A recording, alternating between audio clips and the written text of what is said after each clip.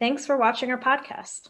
Here at Spirit Consulting, our services include business strategy and human resources consulting. In HR, we offer executive search, executive coaching, and work psychology consulting. Please visit us at spiritmco.com, where we fulfill our clients' dreams virtuously. Enjoy your show. Welcome back to the Leading Virtuously podcast. So excited for our guest today. Trevan, who are you?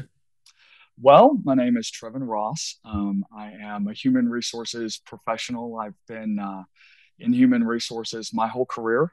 I actually set out and intended to go into human resources. Uh, at the time, I know a number of people probably thought that was pretty crazy, but I decided to do that anyway.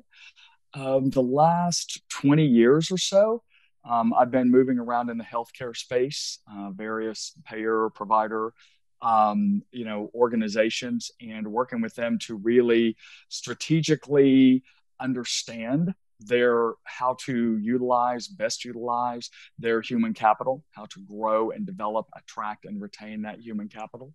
Um, i'm also a son I have family in Oklahoma. They all still live there. I'm in Houston, Texas, by the way. So they're all still there. Um, great, um, wonderful uncle to nieces and nephews. And I really enjoy uh, culture, restaurants, um, you know, going out and trying out new concepts, new things, new ideas. Uh, that doesn't apply just to my personal life, that also applies to work as well. So I'm always looking for new and different and innovative ways uh, to do things. So that's kind of me in a nutshell. Awesome. Well, well, thank you for sharing. And uh, what are so as you kind of mentioned, like you love culture and being able to mm-hmm. experience new things, specifically around restaurants. I find that it, it, can be a dangerous endeavor, you know, being able to go out there because uh, oftentimes you could end up going to the wrong place mm-hmm. and uh, you know, but I think it is kind of lame when you just continually just pick the same restaurant over and over and over again. Yeah. Break outside uh, of your box. Absolutely. Yes, variety is definitely the spice of life, no doubt. Exactly. I agree.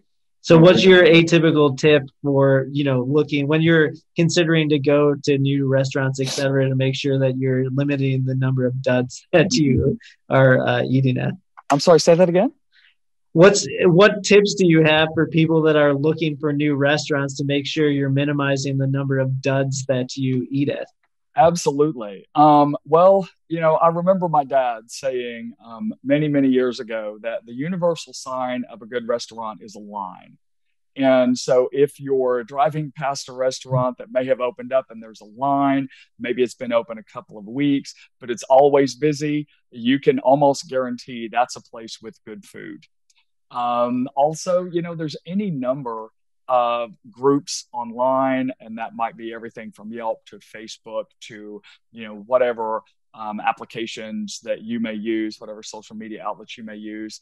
Um, I'm on a few of them here in Houston that regularly, you know, people um, people who are foodies tend to kind of attract other foodies mm. and love to discuss that. So I use a few of those as well.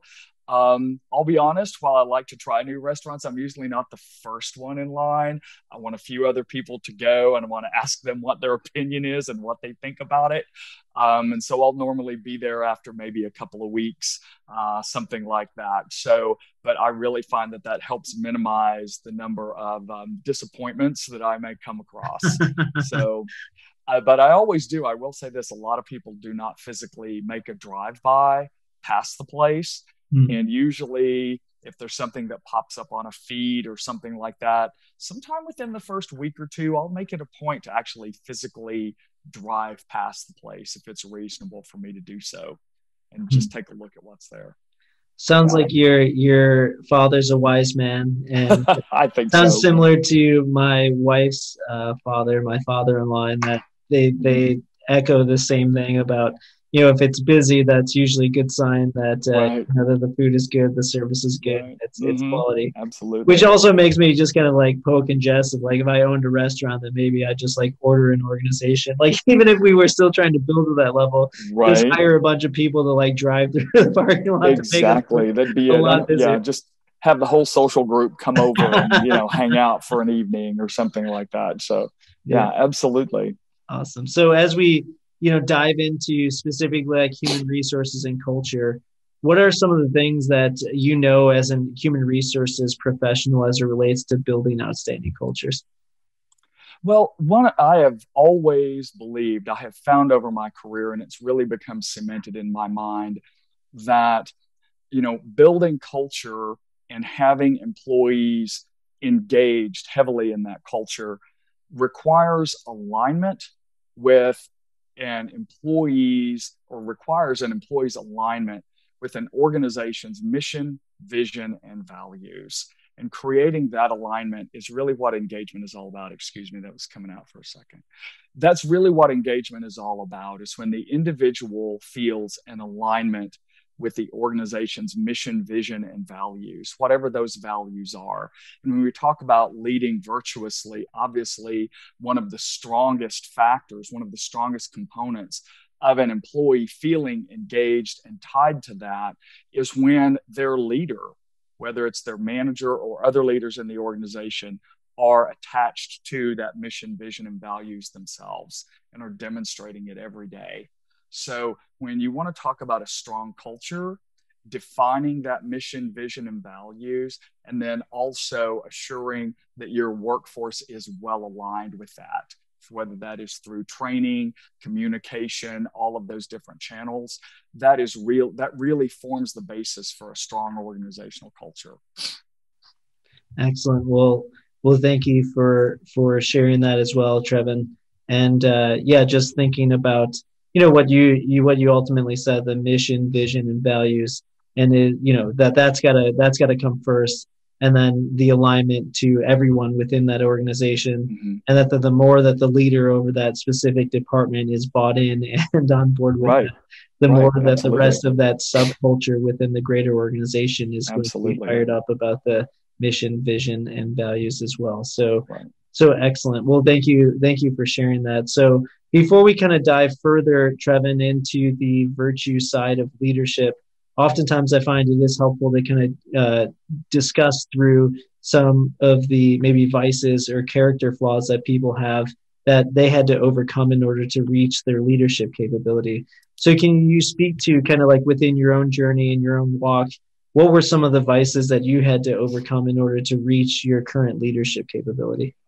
Um, that's a very interesting question. I like that question. Um, you know, I think that one of the things that I have really had to overcome and have worked very hard is a focus solely on the work that I do myself and giving, working on giving credit, giving praise to whether it is my colleagues who I work with or the people on my team for the work that they have done and their contributions. And you know, as opposed to focusing on this is my work and this is what I have done, recognizing, um, appreciating, supporting, and praising other people in the organization for how they have contributed to the work. As a leader, I don't do all of that work myself. There are others. And again, they may be colleagues that I'm working in a collaborative relationship with. They may be people reporting to me that I manage. They may be other people in the organization with whom I have a different relationship. But for many years, particularly as I started on my career path and I was an individual contributor, of course, as an individual contributor, you're heavily focused on your own work and the work that you produce yourself. But when I moved into being a leader, I realized that that was a challenge for me and something which I really had to make an effort, a concerted effort to focus on to say there are other people that have contributed to whatever this success has been in our organization, even if it's in my department. How did we collaborate together? How do I honor their contributions to what's been produced or achieving the objective? Whatever that might be in the organization. And I think that's really critical um, because you know many leaders will refer to you know my department or my function but there's behind that there's the realization that all of what is being produced and all of what is being achieved and accomplished is accomplished by a much larger group of people hmm. yeah it reminds me of a story where i was out with a, a vendor of mine and we were at a networking event, and someone had asked us, you know, like, who, how do you guys know each other? And I was like, my response was, oh, we're just we're we're work colleagues. Mm-hmm. And he was like really touched by that. That I could have mm-hmm. easily taken the ego play and had been like, no, I'm I'm currently his boss. I hired him to support my organization, etc. Mm-hmm. But to mm-hmm. just you know take that loving approach of just being like looking at everyone as our mm-hmm. colleagues, regardless if they report to us or not, and exactly. it's kind of like that same kind of discipline and, and how that also like how how people are just that much more willing to want to work with you and right. work for you if you're mm-hmm. not someone that's just constantly you know taking that credit and mm-hmm. and wanting to make it all about yourself so thank you for sharing that curious Absolutely. Trevan like where you feel like what what is the roots of that struggle in yourself like where, where do you feel like that came from in your own your own journey? You know that's uh that's yet another good question where that came from. You know i I would say I had a couple of really good mentors um, in throughout my career, and I'm very very grateful for that. And I, uh, this actually mentor was someone who did work for me, and on a particular occasion, um, I had gotten up and done a presentation to um, a large department, one of our largest departments in the organization at that time, and talked about what we in the human resources function were doing. And I talked about all of the different areas. But what I failed to do in that presentation was acknowledge the people who were working in, or even at that case, these were leaders who reported to me, the leaders of those functions. And so I had all of the contributions there, but did not provide again the opportunity to credit them or provide you know some praise for them in front of that larger group and you know when you're in a large organization i think everyone understands that you're not the sole contributor but at the same time you know people want to know that you are working collaboratively and i actually had one of my employees come and point that out to me and that was a real turning point for me mm-hmm. in that conversation, I actually followed up with each of the members of each of my direct reports individually and asked them, um, you know, had I done that? Had they noticed it and things like that? And when I kind of opened that door to that conversation, um, some of the others expressed the same thing. And so I may actually made an effort the next time I was doing a presentation like that. After it was created, I circulated it to all of them and said, Will you please work with me on improving this presentation so that we are all presented in a light that allows us to shine as a team and as a group of collaborators rather than just me as the leader of the human resources function at this organization. Got it. Well, well, thank you for that uh, revelation as to how it how you how your eyes were open as it mm-hmm. related to that type of leadership approach and and yeah. and why you made the decision to to change the way that you were leading going forward.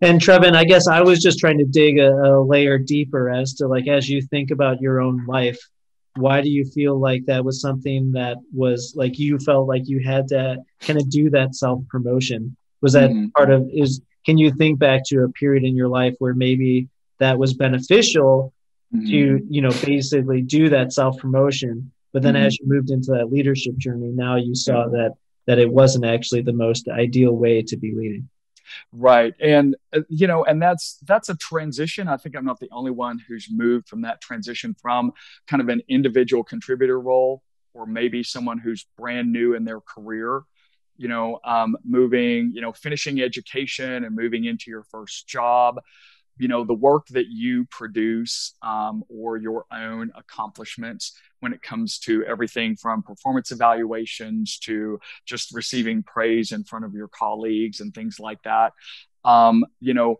that is that can be very beneficial at that point in one's career in one's growth and development.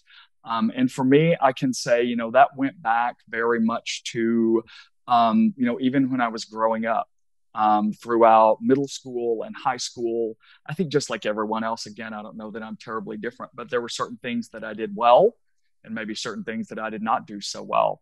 Um, I happen to do well at academics, but you compensate and you promote those things that you do well to whether that might be teachers or leaders or bosses or whomever that might be and kind of de-emphasize things that perhaps you know are not quite you're not quite as skillful at achieving. And so that serves you well in that environment. And the you know and while that continued to serve me well through my educational part of my development and then in the first few years of my career at some point that that shifts and again, when you move into a leadership role, and not to say that you have to manage people to be in a leadership role. I know many people who may not be in what you would call a true management role of, of managing other people, but are tremendous and amazing and humble leaders, even perhaps in a role which doesn't formally lead other people. And in working with some of those people and thinking, you know, I kind of want to be like you know this person over here who is just known for being a great collaborator on their team and what makes them a great collaborator on their team because no one reports to them um, but they're very well known and very well respected um, and and very and honored um, on their team as someone who promotes that collaboration working together and it's not all just about themselves Awesome. Well, well, thank you for sharing in that regard. So, so Trevan, why do you see yourself as a virtuous leader, and, and what are some of the stopping grounds of of that formation in yourself? Well, as as I mentioned once before, I've had a number of of uh, blessed to have a number of good mentors and managers and bosses in my career, and there's one in particular that stands out to me um, that was um, you know relatively early on in my career she really managed and led and lived her own life by a four word mantra. And it was called do the right thing. Hmm. And that permeated when she came to work every day. Um, I knew just from casual conversations, that's how she lived her personal life as well. And more than once, either I would be having a conversation with her or there might be a team meeting and if the question came up, what is it that we need to do? The first question was, what is the right thing to do? Well, here's what I think is the right thing to do. Well, you need to do the right thing. And the right thing may not always be what is the most financially advantageous to the organization. The right thing might mean that we have to do some more work than we might otherwise do might require more involvement, more effort from us. It might mean some difficult conversations or taking some difficult actions. But it really became very clear to me over the time that I worked with her and worked for her that if, when you really sat down and thought about it, when you ask yourself, do the right thing, in more than 90% of the cases, the answer would be pretty obvious mm. as to what it was you needed to do if you were approaching it from that perspective. And I have carried that with me and I have used that in my own leadership. I've used it with my own teams as well to say, what is it that we do if our intent is to do the right thing? Now, a word from our sponsors. Have you been feeling unfulfilled? One of the best ways to experience joy is by caring for the homeless. A charity that I've grown to love River of Light, food rescues a million meals per year for the needy in Chicago.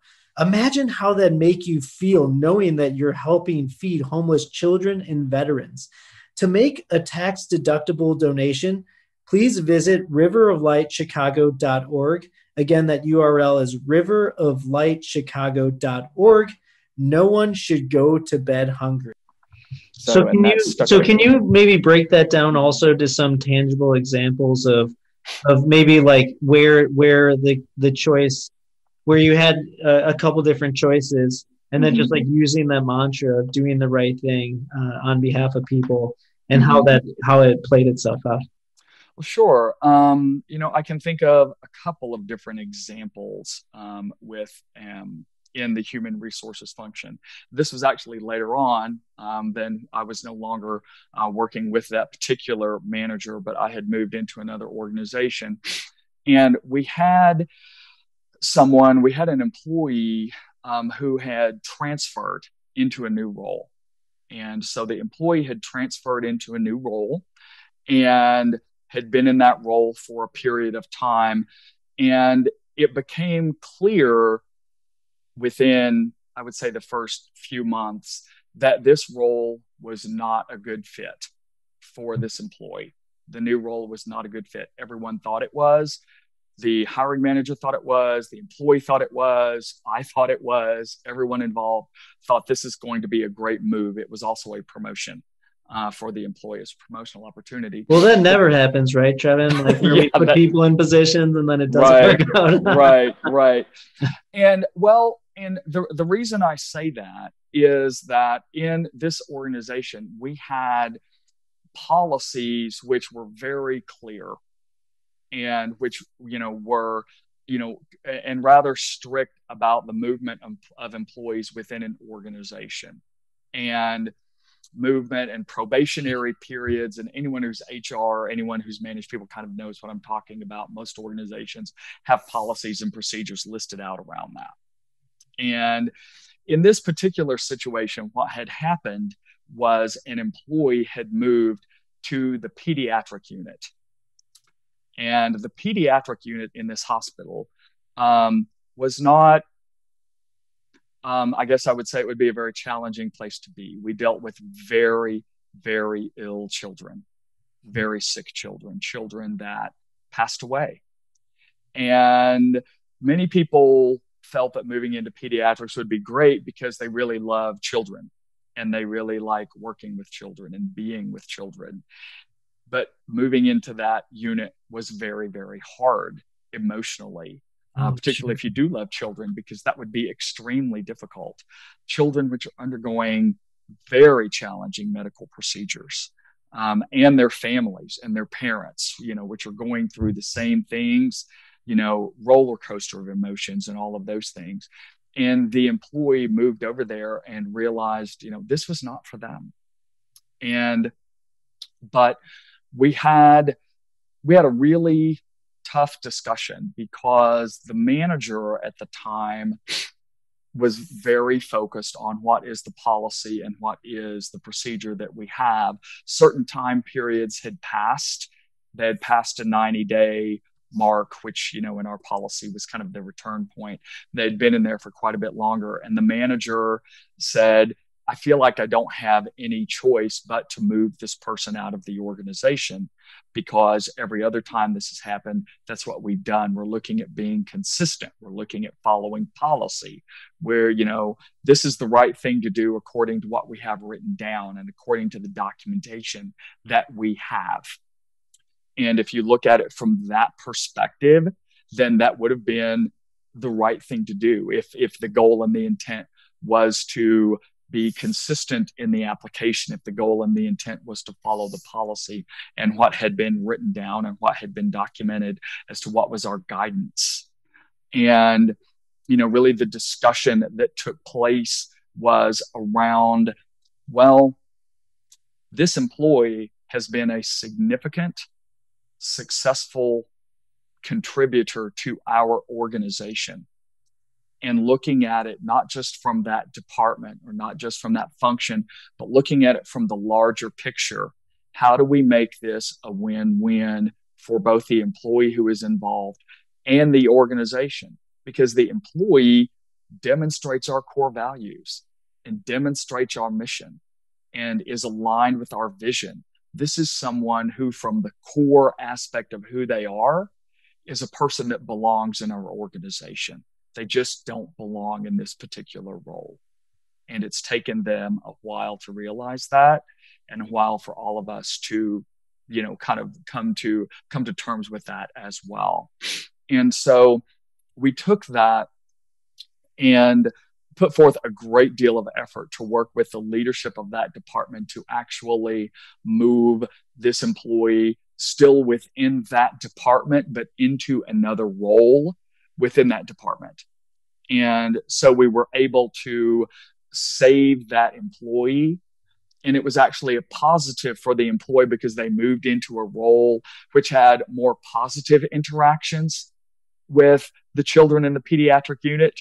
So the employee was happy, the department was happy. And from an organizational standpoint, we were able to retain someone who demonstrated our core values every single day.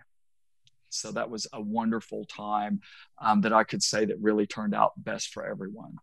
Yeah, that's that's an awesome story. So thank you for sharing that. And I think what it what it cements in is the way I've been thinking more and more about organizations is that we really are a family. Mm-hmm. And and what's crazy about it is that if you think about how much time we spend getting ready for work, commuting to work, at work, right. you know, commuting home from work, we end up spending even probably even more time at work than we actually do with our own families. Sometimes. Times. Yeah, and then yeah. so so then it's like if you have these people that are devoting so much time and energy to an organization, and then you know, like you said, oh well we have this policy they got to go it's like but hold on a second because this person has steadily been able to like you know mm. give themselves to the organization be dedicated etc that's why we promoted them in the first place right. just to cut them that seems like it's a very wrong thing to do and if you think about it from like a sibling perspective mm-hmm. would we do that to a brother or sister absolutely right. not you would definitely not do that to them so why would we do that to an employee so yeah mm-hmm. i love that of being able to find that win-win and making a people based decision. Yeah. So that's excellent. Yeah. So thinking about kind of again back into virtuous leadership, just curious, uh, Trevan, like uh, Trevan, what what specific virtues do you feel like you've been gifted with? What are some of those that are easy for you as it relates to kind of showing up as an HR leader?